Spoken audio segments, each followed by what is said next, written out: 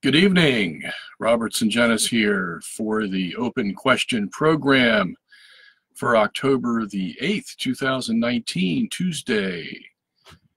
Uh, this program, as I have done for the past several months, is set aside for you to bring your questions or comments, your prestidigitations, whatever you want to bring to the open question program. I, as your host, will comment on the things you have to say and the questions you bring and try my best to give you an answer from our Catholic faith, from the Bible, from our tradition.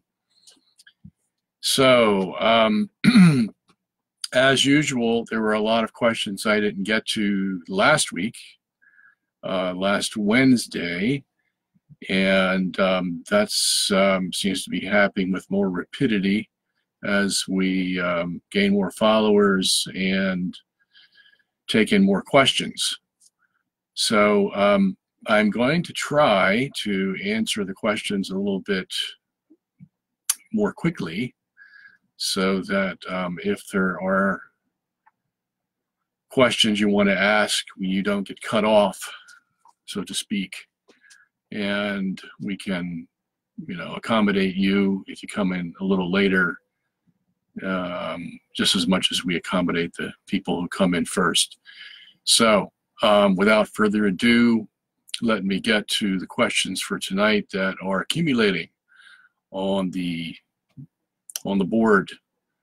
So, um, Ben is back again tonight Hi, Ben. Thank you for your wonderful letter, by the way. I appreciate your comments concerning. Oh, by the way, that brings up something that I wanted to say before we get into the program. Um, this is one of my major projects, as you can see here.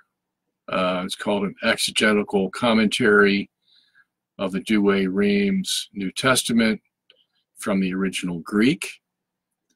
Uh, my name at the bottom there. Okay. So what this is, is it takes the 1899 Douay-Rheims Bible that was originally published in 1609 and had gone through some revisions, uh, especially by uh, Bishop Chandler, and that's what the 1899 Douay-Rheims ended up to be, his um, corrections to the, and updates really, because the, the original Douay-Rheims was written in Old English. Uh, if you've ever tried to read Old English, uh, it's a little hard because um, sometimes they spell words differently. They had different um, different letters for the same letter, like some of their F's, their S's look like F's and things like that, just like in Latin sometimes. Um, so um, that is, um, I've been working on this for a very long time.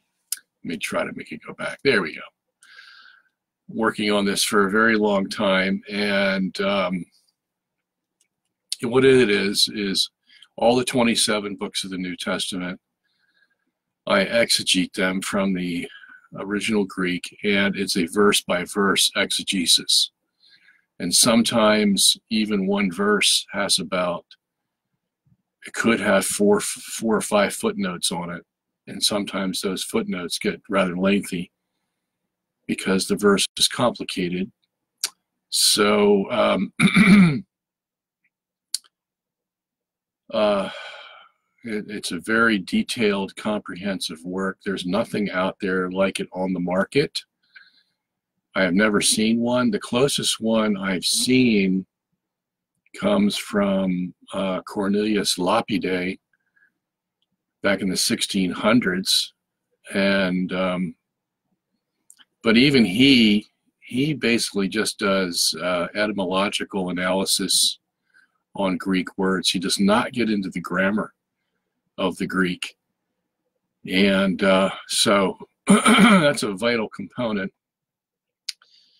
the Catholics have been missing for quite a long time. And I felt, you know, somebody ought to do that because, you know, this book, and, you know, I'm not want to pat myself on the back here, but I'm just saying there's nothing like it on the market. And this, this kind of book is exactly what today's Catholic seminarians need and Catholic professors in universities and colleges. Okay, because this takes, this uses um, traditional, um, historical, grammatical exegesis of the Bible, okay, and uh, makes it uh, readable. And the reason the Greek is important is because you can get so much more out of the Greek than you can the English. And that's why there's so many different English translations. Um, you know, when I was writing my book, um, was it last year, Flat Earth, Flat Wrong, um, I went through 45 different New Testament translations. I mean, um, not New Testament, um, Bible translations of Old and New Testament, 45 different ones to just for one verse. And it was amazing the disparity between those translations. Why is that? Well, because not everyone understands the original Greek or even the original Hebrew. It takes a lot of study, and um, sometimes you come out on the wrong end of the stick, and the translation will be wrong, or sometimes it'll be close, but not close enough. And the reader, you know, the studious reader should know that. She should should know the differences at least. Not to say that I'm going to hit on every exact interpretation that, you know, the the writers of the New Testament meant. I'm just saying that this book will give you at least what the parameters are, what the differences are, and so you can see that. And sometimes those differences can be pretty impactful, uh, not only theologically, but morally and personally with your relationship with God. So um, just wanted to advertise this. Uh, I'm trying to raise funds for this because this takes a lot of work. I spend um, outside of my other work, okay, that you've seen me do you know, like the book, other books that I've advertised, and uh, like on the geocentric issue, I've been writing about that like crazy for the past 16 years. That's come to an end. I won't be writing any more books on that. So I am spending all my time on this book, probably about 10 hours per day. It's very time consuming, it's very energy consuming, and um, I need your help. I need your support to help me do this. So uh, it'll be well worth it when it's all done. You can turn to any passage in the New Testament, any verse, and you'll be able to see what the interpretation should be from the Catholic perspective. It will give some of the Protestant interpretations and why they're wrong, and any other, you know, Jewish or Orthodox interpretations and why they're wrong. And uh, it'll also give some critiques of, you know, historical criticism and all those things that uh, is being taught in our modern Catholic seminaries. They don't do exegesis. Let me put this down. I'm tired of holding it up. Um, they don't do exegesis from the grammatical historical perspective anymore. Uh, it's all liberal, you know, trying their best to tell you why uh, the verse isn't uh, inspired by God and what the author uh, meant because he was renting it from his own mind. You see, that's what they try to do today. Instead of taking the Bible as the Word of God, um, you know, they spend more time trying to convince you that it isn't the Word of God than that it is the Word of God. And um, you know, one of the Bibles we have today uh, that's pretty popular in seminaries, Catholic seminaries, is the um, the New Jerome uh, Study Bible uh, with editor uh, Raymond Brown. Father Raymond Brown died, what, gosh, I think it was in the 90s he died, or late 90s. And Fitz uh, Fritz Meyer, who used to teach at Catholic University of America, and Roland Murray, I think his name is. Anyway, they had two versions of it. They had the first Jerome biblical commentary in the 70s, and then they redid it into the new one. But, you know, right in that commentary, uh, uh, Father Brown says that, you know, scripture basically is not inspired unless it's talking about salvation. And so that he believes gives him the right and his colleagues uh, to go in and basically uh, rip the Bible apart uh, piece by piece, unless perhaps the Bible's talking about salvation. And even then, uh, they are the judges of when the Bible's talking about salvation, because according to them, it would have to do so directly. Okay, so um, that's been in Catholic seminaries all over the world now uh, for decades, and uh, they look at me as a dinosaur. Uh, you know, I, I, don't join the the clubs and the guilds and the societies uh, that um, are centered around the Bible in Catholicism because, to me, they're not worth the time of day because of what they've done to the Bible, and that's a whole whole sermon I could give on what Catholicism has done to the Bible in, in the modern age that would just make your hair stand on end. You wouldn't believe it. And, uh, you know, those kinds of things, uh, you know, they shouldn't be. Uh, the Bible is all the Word of God, it's all inspired, it's all inerrant, and it has to be treated that way, each and every verse. And that's what I do in this Bible commentary, the way the old Catholics used to do it. Our fathers, our medievals, uh, St. Robert Bellarmine, you know, up up until say Pius X, and that's after him. That's when things started to change. They were already changing in the late 1800s, but uh, changed much more rapidly after 1943 when Pius XII gave Catholic scholars the go ahead to at least look at historical criticism. And but he did put danger signs around it. He said, you know, just because I'm allowing it doesn't mean it's right. Uh, go in there and examine it, see what good you can take out of. Garrigou Lagrange had already taken what he could have taken that was good out of the uh, hermeneutic that liberal theologians were using for the Old Testament because uh, they were using what they call the JEPD theory, the, the Wellhausen uh, hypothesis that Genesis wasn't written by Moses, it wasn't inspired, and it was written by four different um, uh, people that came from uh, different aspects of, of, the, of life in Israel. Uh, you know, I could go through that, but I don't want to go through the details. But um, So we, you know, Pius XII thought, thought the same thing could be done with the New Testament. Uh, you know, take what's good out of it, and you know that still can be done to a certain extent, but not much. You know, really not much. Um, and and so it, they they avoided his warnings, Pius XII's warnings, and then they went whole hog and basically ripped the New Testament apart, just like their Protestant brethren before them had done all the liberal Protestants had done. And, you know, if you want to know one of the basic reasons, one of the major reasons why we're having all the trouble we're having today, that's it. Okay. Because the Bible basically is not held up in high esteem anymore as it was in our tradition.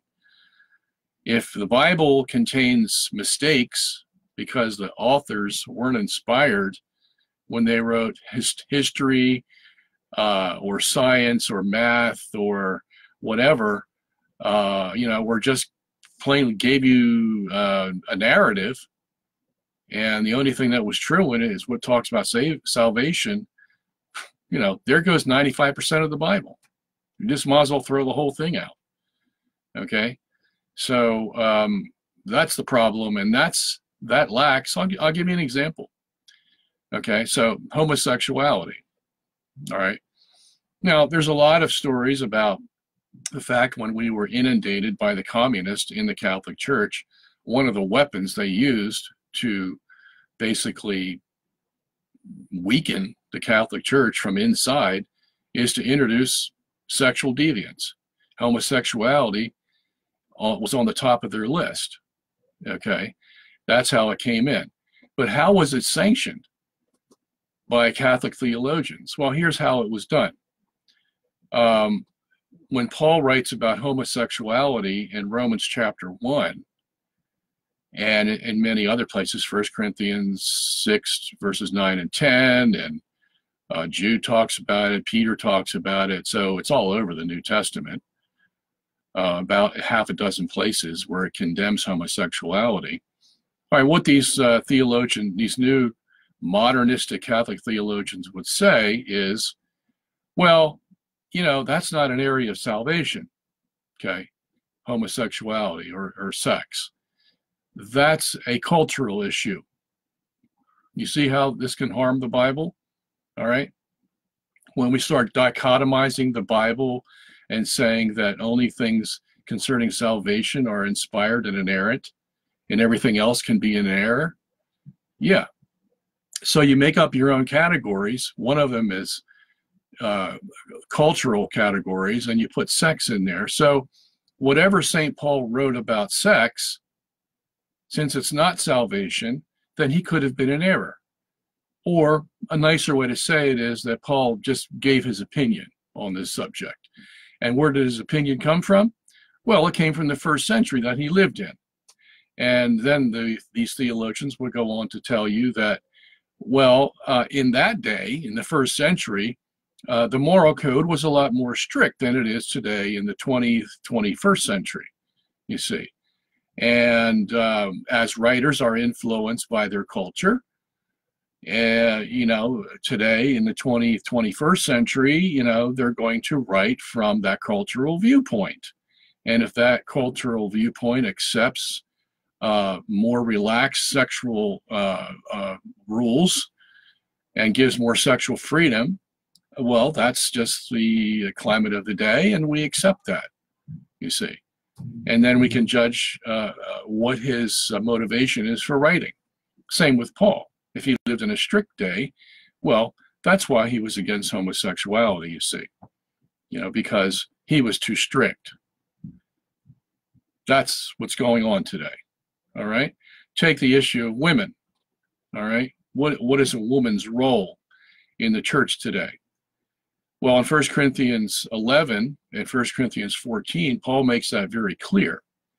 The woman's role is limited it's limited to such an extent where she should, first of all, wear a veil on her head when she's praying in a congregation. Okay. Um, second, she is to be submissive to her husband. Third, she's not to speak while the assembly is going on. Okay, that's very clear in 1 Corinthians 14. Uh, so, how do you, you know, we live in a modern society, though, you know, I mean, we see women speaking all the time now in church, don't we? They read the gospel. Well, don't read the gospel. Well, yes, they do. Sometimes they do. They read the epistle. Um, some more liberal churches will put them, you know, at the pulpit to read the gospel. Um, and they will certainly read the epistles and they will uh, give the prayer of the faithful and they will lead the songs and they will do some other things, give the announcements, blah, blah, blah. Okay, so um, this is a, an example of exactly this the thing Paul didn't want in the churches. Okay, and yeah, you can say, well, it's based on their sex. Well, it is. I mean, there's no two ways about it. Okay. Uh, first, the same thing is true in First Timothy chapter two, verses eleven to fourteen, when Paul says a woman is to be silent all right. And that word silent is basically means subdued. Um, and she's to be under the authority of her husband, and she shall be saved by childbearing. Okay. Yeah. That's based on the fact that she's a female. All right. Let's not be ashamed about that. And uh, one of the reasons uh, Paul gives also is because It was Eve who was deceived, not Adam. All right, uh, when she talked to the devil. So those are the repercussions for it. The first reason, however, uh, that, that uh, Paul gives in Timothy is because Adam was first formed before Eve. That's in First Corinthians or First Timothy chapter 2, verse 13. Okay, so he has two reasons why a, a woman's role is limited in the society, in the family, and in the church today. And that is to be held for all time. Nothing changes. But how do you get rid of that if you don't like that? Well, what you do is you say that Paul, again, is speaking from his own culture, you see, from his own strict view of how the church should be run in his day. And since women speaking in church is not an issue of salvation, see, there's that key phrase again, has nothing to do with salvation per se, then we can change the rules. You see? So that's what has destroyed the church. I just gave you two examples. I could give you a dozen more. The two examples I gave were of homosexuality and the woman's role in the church and in the family. Okay. If you can set aside those New Testament rules because when Paul gave them, he was just talking from his own culture and not what, and he was not inspired by the Holy Spirit of God. Yeah, well, that makes sense. That's the only way you could actually get rid of it, you see. So that's what I'm talking about when I am complaining about the Catholic hermeneutic today. It's really no longer Catholic, all right? You may get bits and pieces of it in, um, you know, uh, Catholic commentaries or uh, in seminaries or whatever, but that's all you're going to get. Okay. It does not have the full flower at all of what we used to have. And um, anyway, I could go on and on and on about that, as you probably can guess. But um, that whole idea is of the devil. Okay. Point blank, it's of the devil. And uh, until our seminaries start teaching our uh, Catholic priests or those who want to be ordained uh, the right way to look at the Bible, we're still going to have these problems. Okay. Uh, I mean, I could go on and on. You know, the Amazon Synod that we're having now basically stems from a rejection of what the Bible has taught us uh, let alone the tradition that's being uh, uh, uh, uh, swept under the rug. Okay. So all these problems that we're having stem right from how we regard the Word of God. And it is my hope that this exegetical commentary I'm making, um, and I hope to get an, uh, an imprimatur for it so that it can be used in seminaries, universities, colleges, everywhere, because this is what Catholics need. They need to get back to a respect and awe, a reverence for Scripture that our fathers and medievals used to have. And um, you know these these people that went before us, if you were to tell them that well, Scripture is only inspired and inerrant when it speaks about salvation, they would have laughed at you, and then they would have excommunicated you. Okay, that's not what they believed, and um, so you know, it's it's shocking to see what has happened uh, in the Catholic Church today. So, with that uh, advertisement for the book, um, you know, please consider helping me with that, or if you know anybody else that can. Um, you know, you can go to robertsungenis.org, push the donation button, and I would much appreciate it to help me get this into the right places it needs to be. Okay, so uh, Ben, sorry for that uh, segue there, but um, uh, you just reminded me of what uh, I wanted to advertise tonight. So Ben says, hello, Robert, can you talk some about Catholic numerology, please? I know that St. Augustine was into it what is the symbolic meaning of frequently occurring numbers in sacred scripture, such as 3, 7, 10, 12, and 40? Did any Pope councils did any pope or councils talk about numerology? Can you please recommend a person, book, or website for further information on Catholic numerology? Thank you very much. Okay, that's a good question, Ben. Um, I think people ought to know about this because there's a certain mystique about numerology that people have in their minds uh, as they do with numbers in general.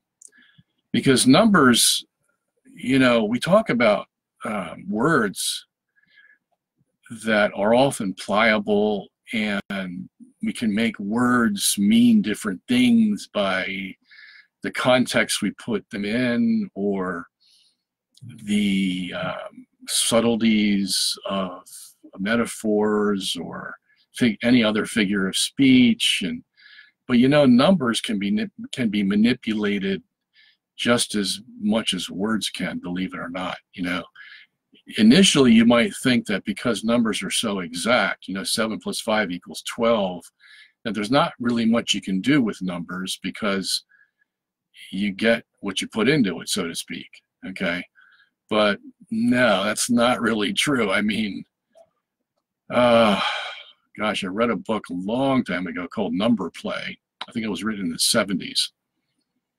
Uh, I think the, the guy's first name was Giles. I forget his last name. Anyway, um, I used to deal with numbers a lot, believe me. I know numerology backwards and forwards. I know gematria uh, backwards and forwards. Uh, and I can tell you uh, let me give you an example. Okay.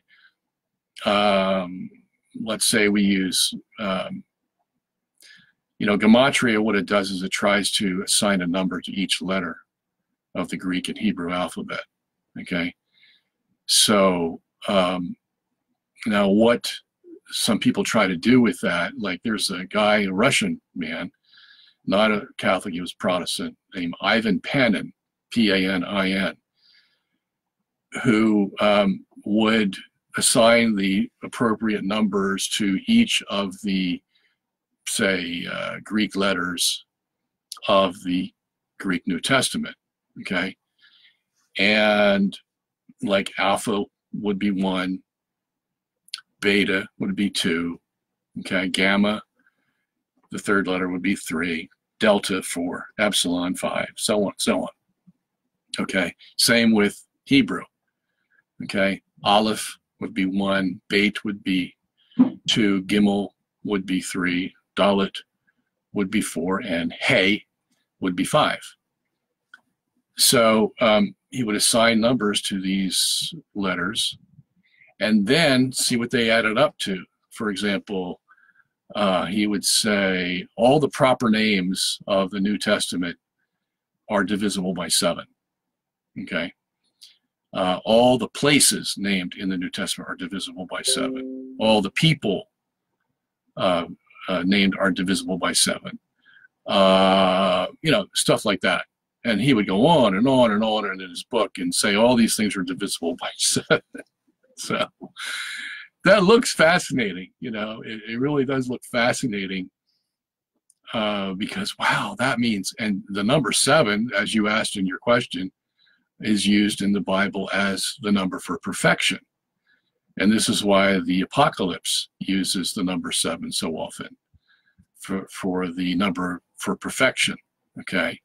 And by the way, uh, you know, seven would be used perfect for, for perfection, 10 would be used for completeness, 12 would be used for fullness, 40 would be used for testing, three would be used for uh, the Trinity, uh, you know, things like that. That's how these things are symbolized. But anyway, so Panin is, you know, trying to find out how many things in the Bible are divisible by seven.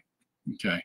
On the surface, it looks fascinating, you know, and if you're a novice into the Bible and uh, you you want to find how the Bible is above all other books, you know, above Shakespeare and Homer and and you know whatever other book was written you know the infinite mind of god could only you know write uh, words that can be uh, numericalized to to be divisible by seven in you know dozens and dozens of places in the Bible.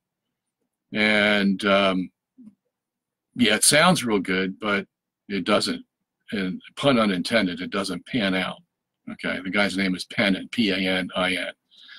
It doesn't pan out. Why is that? Well, the reason it doesn't pan out is because, you know, almost every paragraph in the New Testament has a textual variant. There's only one paragraph in the New Testament that I know of that does not have a textual variant, and that's Luke chapter 1, verses 1 to 4. Okay? And that itself is unusual. Okay? So, and if you, and let's, so let's say, because that's, doesn't have any textual variants, now what do I mean by a textual variant? A textual variant is a different reading of a letter or a word or even a sentence in another Greek manuscript. Okay. And, you know, they're, they're not, you know, we're not, we're not inundated with these things, but there are, you know, in every paragraph, there, it could be just a letter, but that's still a textual variant.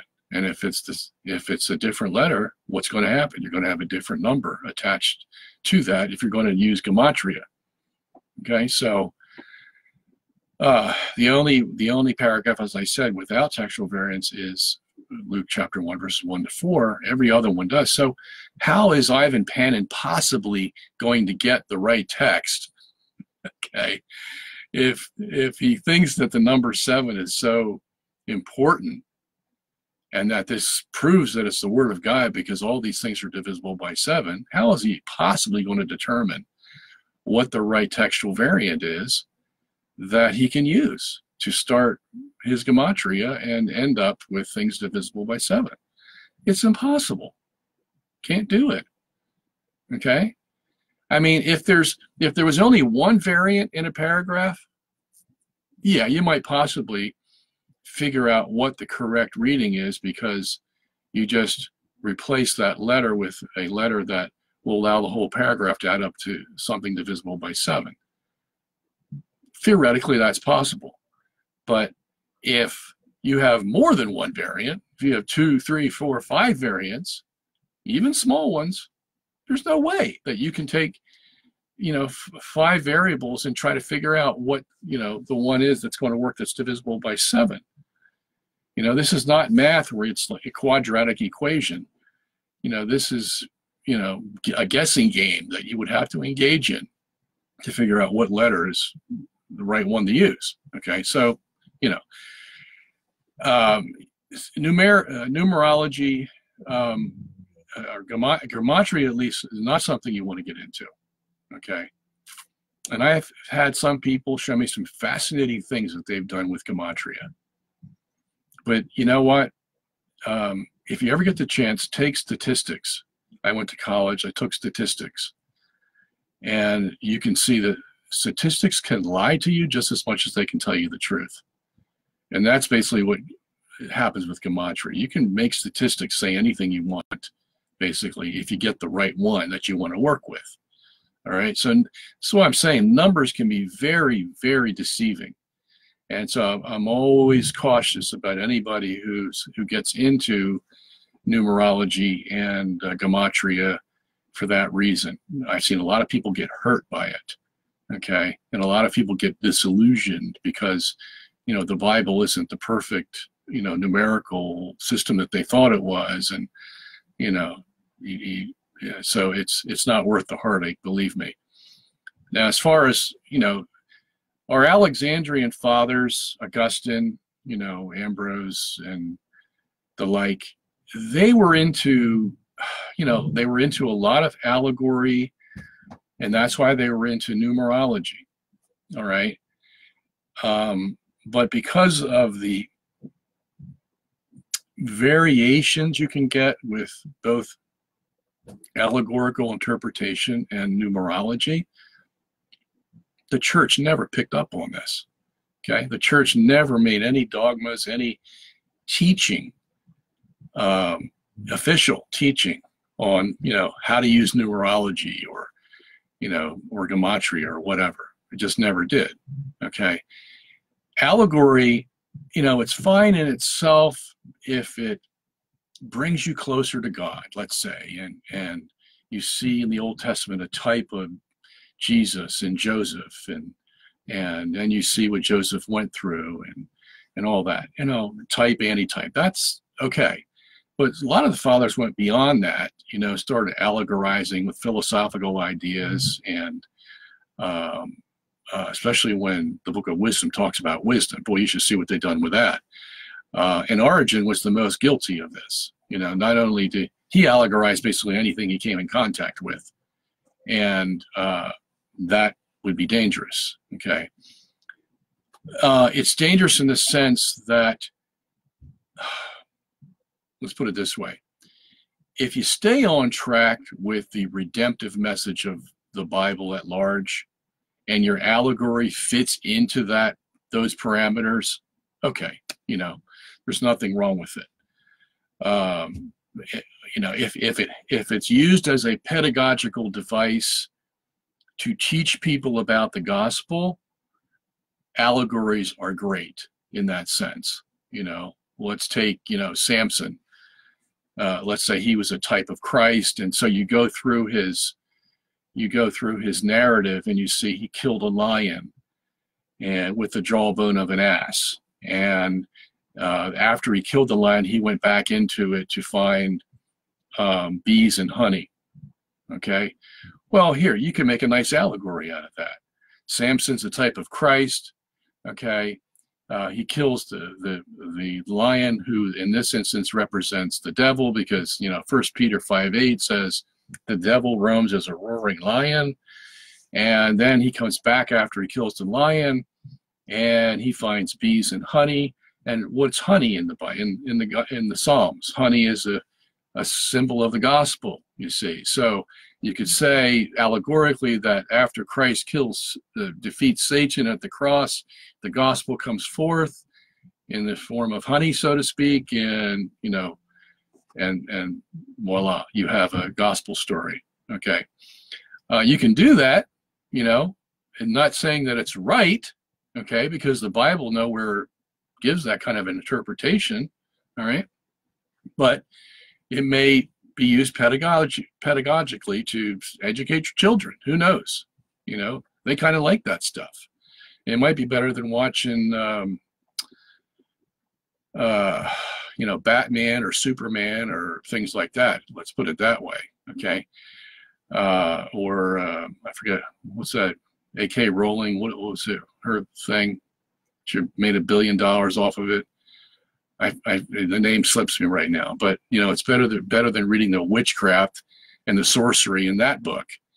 Okay, so uh, you know that can be. But see, the danger with allegory is that it can it, it can then um, the temptation is to get away from the strictures of the redemptive message and you start allegorizing all kinds of things in the bible that aren't related to salvation.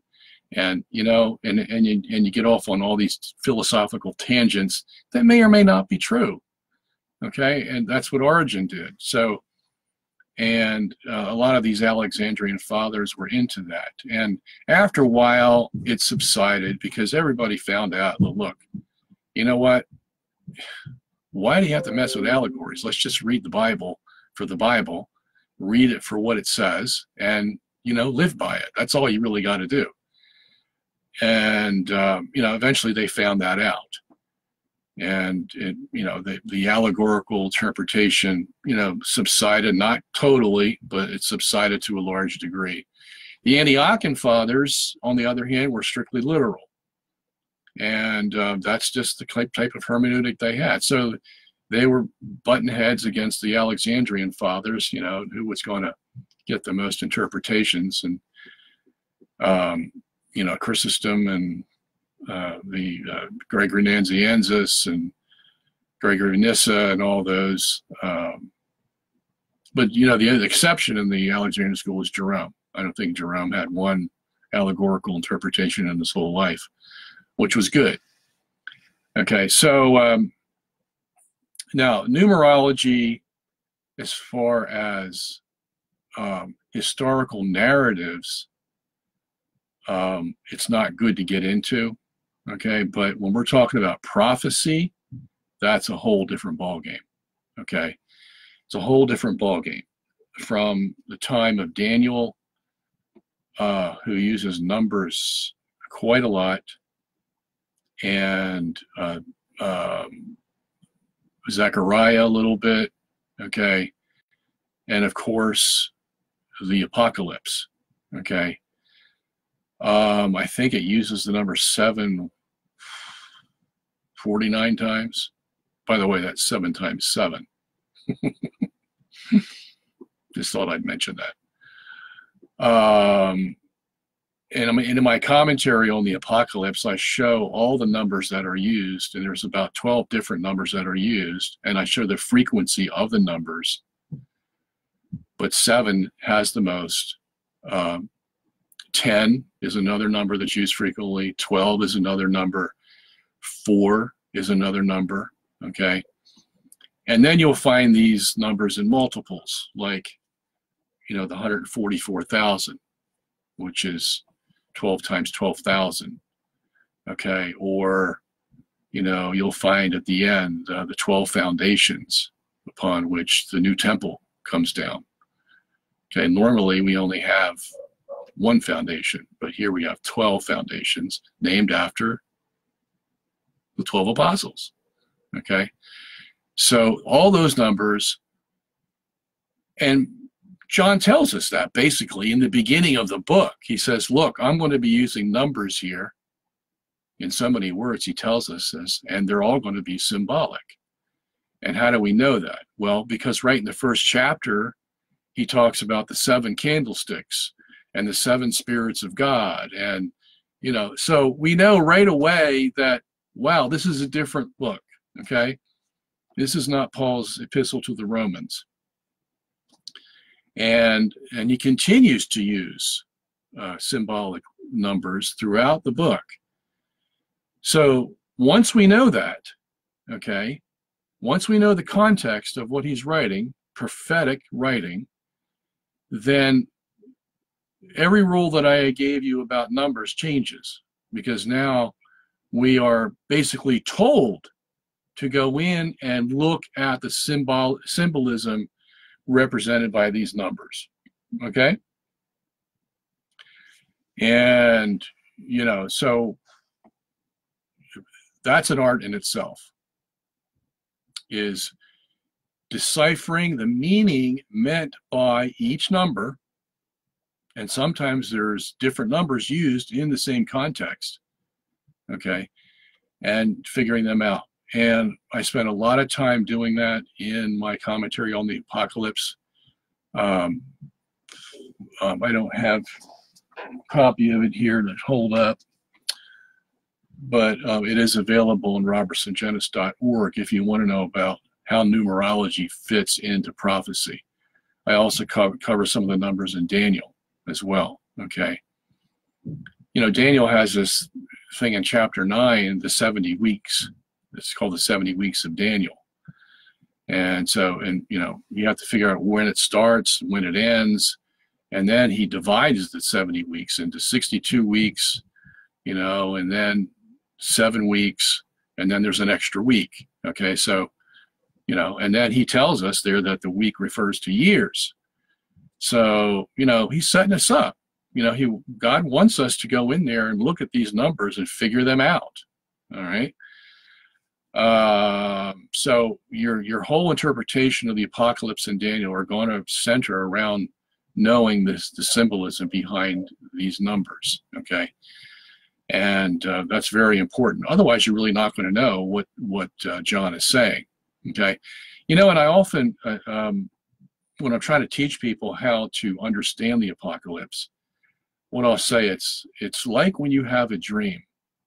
Okay.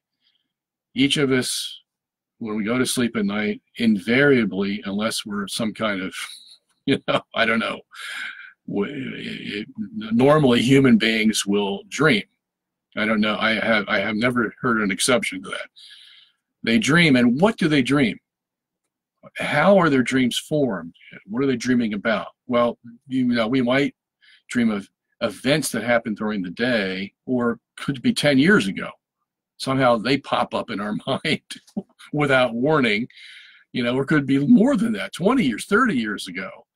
But we're going to dream, but how do we dream about them? Well, we dream about them in symbols, basically. Now that's fascinating to, to uh, contemplate.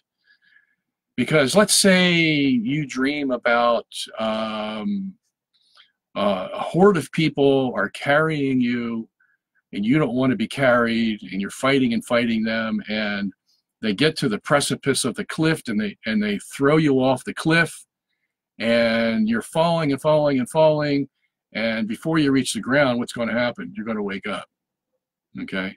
That's the way our dreams work. They won't let us die uh, we can live another day in our dream because no matter how precarious it is how dangerous, we're not going to die. Okay. Um, we may get hurt or whatever, but we're not going to die. So, but how would you interpret that dream? Well, you know, let's say that day you got fired from work. Your boss came in with a bunch of his colleagues and said, We've examined your work and we found out you're not working correctly. You've been fluffing off all this time. And so you're fired. And in the midst of all these, you pick up your stuff, you walk out, and your job is over. You come home depressed, blah, blah, blah. Uh, and you're worried about that because you don't have a job now. What am I going to do without a job to support my family? And so you're dreaming about this. And the, the way the dream is symbolizes itself is that you have a bunch of these people carrying you and throwing you off the cliff. You see, that's how we dream. So the, basically the throwing off the, of the cliff is symbolic of you getting fired and, and being cast into oblivion, so to speak, and not knowing what's going to happen to you. Okay? Uh, that's the way John writes the book of the Apocalypse. Okay? Not all the time, but about 80% of the time, he writes it that way in symbolic language. So, as in your dream, these symbols all mean something, and he's trying to draw a picture for you uh, so that you can put it all together in a puzzle, so to speak, and figure out that's it. I see what he's doing. So now the Bible will help you, historical events will help you, uh, your own intuition will help you put all these things together. But that's why he wrote it that way. Now, somebody will ask, well, you know, why bother? Why bother writing the apocalypse that way? Can't you just write it in simple language so everybody can understand? Good question. okay. You know, the Jesus was posed with the same question also. And somebody said to him, Why do you talk in parables? Because the parable is very similar to the apocalypse. Okay, it's symbolic language. And then you have to apply it to real life events. All right, so Jesus said, you know, what, what was Jesus' answer? You're going to be astounded by this. Yes. I speak in parables so that they don't know the truth. okay. Yeah. Well, that's half of it, actually. The other half is I speak in parables to those who know the kingdom of God so they can be taught even more about the kingdom. He's talking about his apostles. But even they didn't get it. You know, they said, well, Jesus, you know, can't figure this out. Can you explain it? So he would go and explain what the parable meant. Okay. But to those who weren't with him, the Jews of the day who remained in their unbelief, because very few of them, you know, would, would accept Jesus, said, I talk in parables so that they don't understand the truth. Okay. So that they can hear without hearing and see without seeing, as Isaiah recorded them long ago because they're not interested in the gospel. They're interest, interested in what Jesus can give them free food, free healings, you know, all that kind of stuff. And that's all they want. They have no con- conception of him being the Son of God and, you know, going to the cross for their sins. They, you know, their whole understanding of life is what is limited to this earth. So, but the point is, why did he talk in parables? to hide truth and to reveal truth, interestingly enough, like two sided coin. Same thing with the apocalypse. For those who are in the know, so to speak, those who fo- are following the kingdom, they know how to look at these symbols and interpret them correctly. Okay. Those that don't, you know, they'll see the four horsemen of the apocalypse and Apocalypse chapter six and say, well, you know, that refers to the Beatles, as we used to get from um, some high flying interpreters in the 1960s, Thing, things like that. Okay. So, um, you know, stay, you know, those are not kosher, obviously. Okay. But you see how lost they can be by a misinterpretation of the symbols of the apocalypse. Okay. So, um, wow.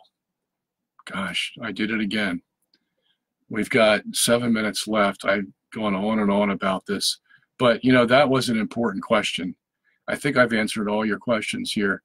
Um, stay away from the websites that deal with numerology, Ben, uh, or gematria. Uh, not something you want to get into. Believe me, I know from experience. Okay, I have about 25 years or more of experience in that, and uh, not worth the time. Believe me. Okay. Uh, Lauren says, "Can you explain outside of the church there is absolutely no salvation relating to the Feeneyites and their rejection of baptism of blood and desire?" Uh, yeah, the Feeneyites are wrong. Okay, they go to the extreme, and not that going to the extreme is wrong in itself, but the exegesis that Father Feeney used of the Bible to get to the position is categoric, categorically wrong. Okay, what they try to do is make a dichotomy between justification and salvation. Now, on the one hand, you know, we do make distinctions along the line that they want to get to, which is the reason they say there's a difference between justification and salvation. And why this is important is because they say that baptism of, of water uh, only justifies you, it doesn't save you. Okay, that's why this issue is important. Only justifies you, doesn't save you. So what they're saying is that justification does not save you. So every time the Bible talks about Abraham being justified, David being justified, like in Romans 4, for the Feeneyite, they're not saved. They don't have salvation. And the reason they would say that is because, well, Abraham has to last until the end, and only at the end will he be saved. Well, yes, of course, but it doesn't mean he's not saved at a certain point of time before he dies or before the general judgment. Okay, because let's say if he were to die and he was justified, then he would go to heaven if he died on that particular day. All right. Um, and his, as a matter of fact, you know, we, we have souls in heaven. We know that for a fact. We have saints in heaven. How could they be in heaven if they're not saved? They've died before the general judgment. Okay. So that's where he goes off the track, pure and simple. If you really want to get to the core of his belief, that's where he made his mistake. Okay. And because the Council of Trent, chapter 4, in session 6, says um, that the laver of regeneration justifies, uh, well, you know, that's that's where Feeney went off and he took the word justification as not meaning salvation and so baptism doesn't save, it just justifies. Okay? So that's wrong. All right? No father, no medieval, no church uh, official statement has ever said that justification is not salvation. Okay? They've said just the opposite. And, um, you know, I've challenged the uh, some of the Feeney brothers on this, and they look at you like, you know, you're, you're cross-eyed uh, they just don't get it. Okay, and that's been and that's the problem with the Feeneyite interpretation is you know once a man of his stature comes out and says it, and he led the whole group up there in the Northeast, and you know they're going to take whatever he said as gospel, and a lot of them don't have the acumen to be able to decipher what he said and where he made his mistakes, and sometimes even if they're told, they don't accept it or want to accept it because, you know, there goes the whole movement. If you find one flaw, you know, you pull the card out from the deck of cards that you've built, what's going to happen to that deck of cards is going to fall flat on its face. And here's one card that if you pull it out, the so-called difference between justification and salvation, the whole thing comes down. Okay. So that's why that can be very dangerous. All right, we got a few minutes here. All right. Um, let's hold on while I scroll here. Okay, let me deal with someone at the end here because I don't want to go through the same thing.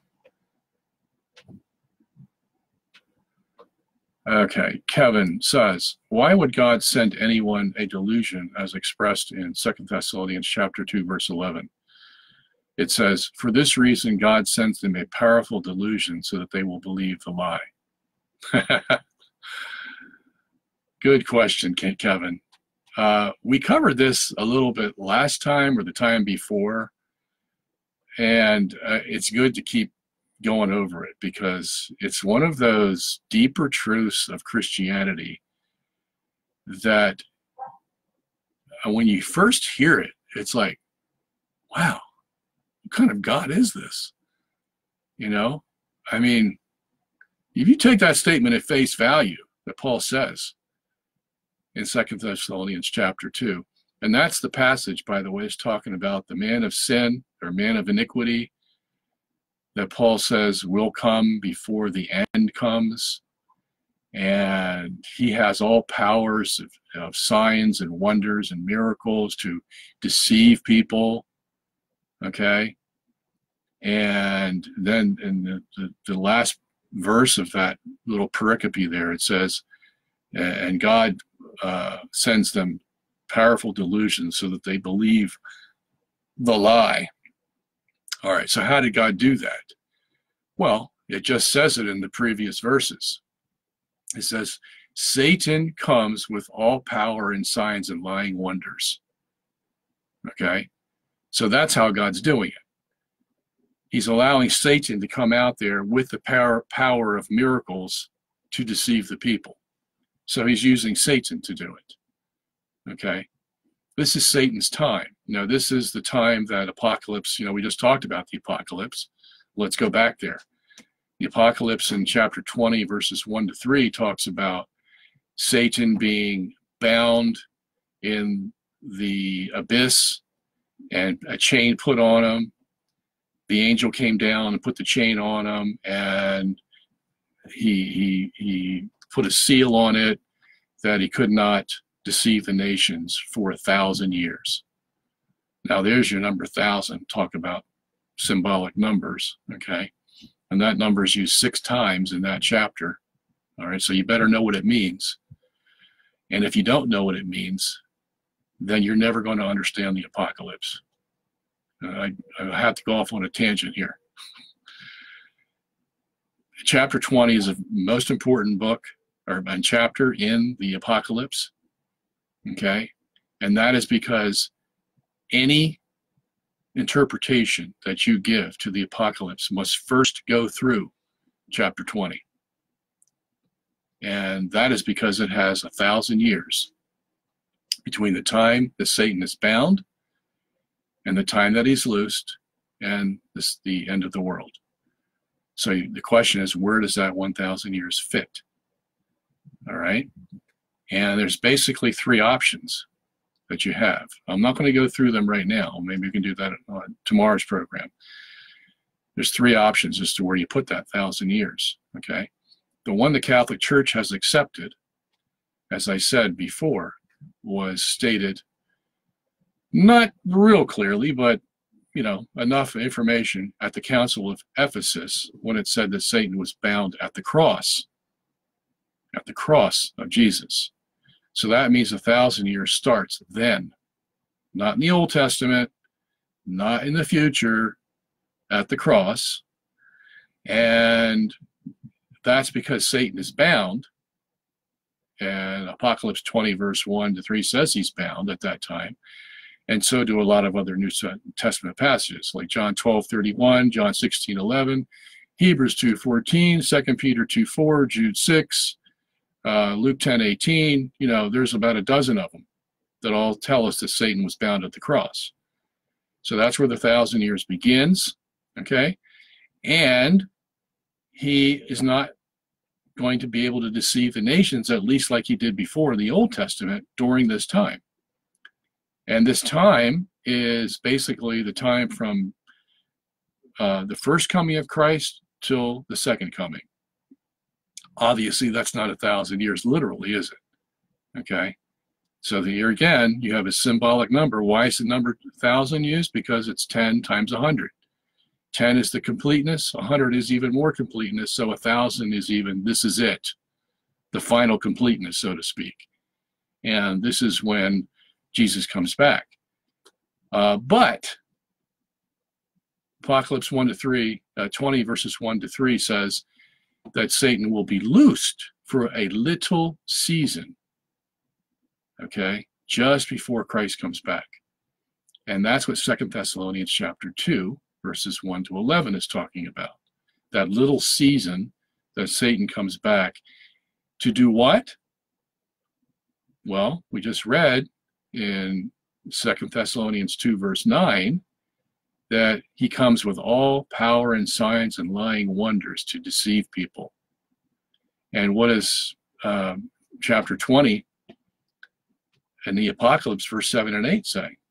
Well, he he's released to the uttermost parts of the earth, Gog and Magog, to, to go out and deceive the nations.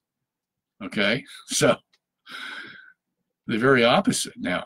Okay, so before, when he was bound at the beginning of the thousand years, he is not able to deceive the nations in the same fashion that he was in the Old Testament. Now, the gospel can go out. You see, if Satan was given total power over the world to deceive the nations, then the gospel could never go out and people could never be saved. But the gospel has gone out. I mean, the church basically ruled the world in the Middle Ages after the fall of the Roman Empire.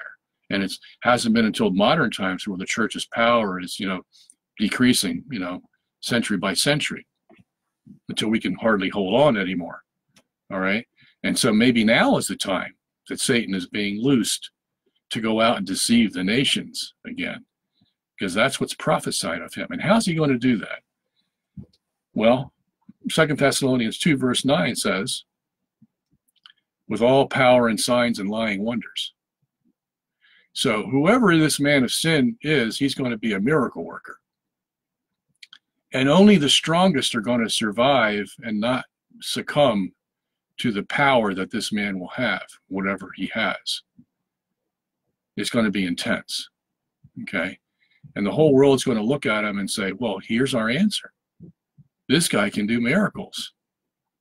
And and you know what? What you just read was that God's the one who's allowing it to happen. All right. He's the one that's allowing the delusion to take place by allowing Satan to do his work. This has been prophesied for ever since the world began, basically. Okay, that this day would come. And Jesus said, you know, it's going to be so severe. And he says they're going to be false Christs and false prophets doing signs and wonders in Matthew 24, verse 21 to 24. Okay, so there you have the miracles again. In the rest of the apocalypse, you know, Apocalypse 16, verse 15, again, talk about miracles that are being done. Okay. So, you know, we know something terrible is, is going to take place, but again, God's allowing it. Why? What kind of God is this that would allow people to be deceived? Well, it's the same God that we talked about in Romans chapter 1. You know, uh, he talked, uh, St. Paul there talks about lesbianism and homosexuality, and they persist in this. Why? Because it says three times in that chapter, God gave them over to the lust of their flesh. God gave them over to it. He took the active role in giving them over In other words, basically what it's saying is God withdrew his grace because it's great. His grace is what is the only thing that keeps us from going down the path of sin. His grace. And that's why as Catholics, we do everything we can to get the grace of God. Whether it's dipping your hand in the holy water and blessing yourself or going to the Eucharist. All those things give you the grace of God so that you don't go go down that path of sin. Okay?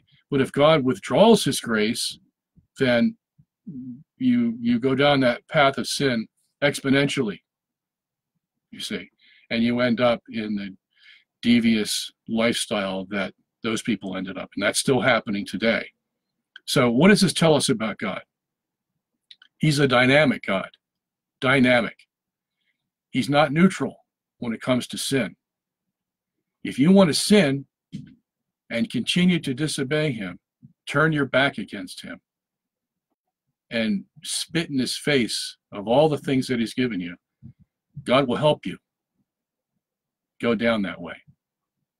Okay? He's not going to remain neutral and watch you sin and and just hope that things get better. Now, you reach a point where God withdraws from you and you go the natural course of what a sinful soul will do. Okay? And you can read about this plenty of times in the Old Testament. Go read the Old Testament. Go read those narratives. Find out what God we're talking about here, because it's the same God that exists today. No different. Okay?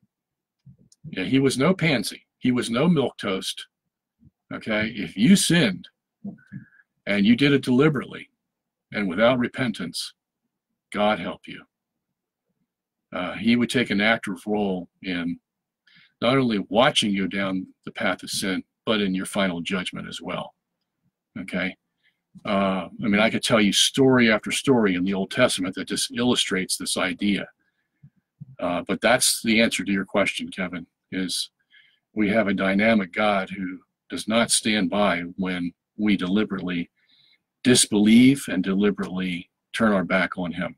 Okay. He will take an active role in uh, hardening us in our sin. And uh, basically, that's what's going to happen. That's the, the world. This world is headed for a very sad time. You know, you would think that hopefully at the end there would be some reprieve after all the misery we've gone through. You know, uh, for you know six or seven thousand years. Uh, but it's going to get worse until the very end. Now, the the fortunate thing is it's only going to be as the apocalypse says for a little season now a little ambiguous okay what's a little season all right uh, at least we know it's not the symbolic thousand years all right it's, it's going to be something a lot less than that and i give some um, excuse me educated guesses as to what the little season may be in um, my commentary. But uh, so it won't last forever. And wow, my voice is going. And Jesus said, if God had not shortened the time, then not even the elect would survive. Okay. So it has to be this way, but it will be shortened for the appropriate time as God sees fit. All right. So um, I'm sorry we gone 10 minutes over time. Those of you who haven't had your question answered, um, I will try to uh, bring them back tomorrow and I'll be glad to answer them. And until then, we'll see you again. May God bless you, keep you, and may you find out what kind of God we really have. And may you draw closer to Him. God bless you. Bye bye.